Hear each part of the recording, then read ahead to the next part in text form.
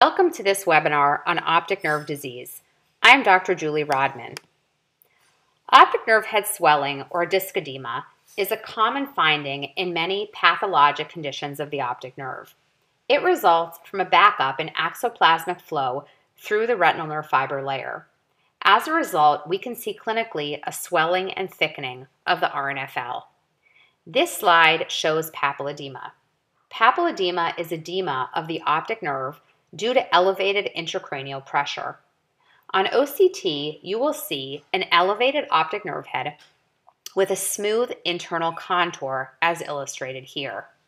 You will also see an area of subretinal hyporeflective fluid, which we call a lazy or recumbent V pattern. This is specific for true disc edema, and you will not see it in other forms of pseudodisc edema. This is another slide of disc edema as a result of idiopathic intracranial hypertension. On the left-hand side, you can see the smooth internal contour that we discussed in previous slides. On the right-hand side, you can see what we call an inward angulation of the peripapillary RPE Bruch's membrane layer as illustrated by the blue arrows. This inward angulation does not occur in other causes of disc edema. Optic nerve head drusen is often mistaken for papilledema. However, it is a congenital abnormality. Optic nerve drusen are abnormal globular collections of protein and calcium which accumulate in the optic nerve. On OCT, optic nerve head drusen will appear as an elevated optic nerve head with a lumpy, bumpy internal contour, which you can see here. It looks quite different in comparison to the slides on true papilledema that I showed you before.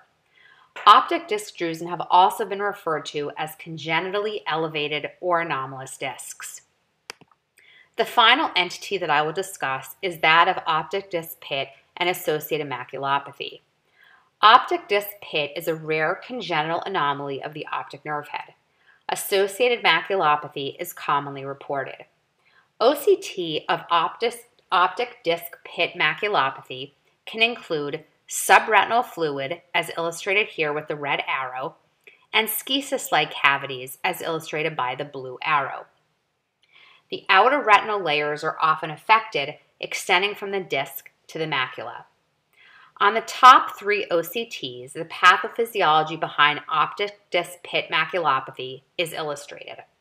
The pathophysiology is thought to involve fluid originating from the vitreous or subarachnoid space entering through the optic nerve head through the pit, resulting in a separation of the outer retinal layers. Fluid can then move from the outer retinal space to the inner retinal layers, which results in the maculopathy that we described before. I hope that you enjoyed this webinar on optic disc anomalies, and I look forward to seeing you at future webinars.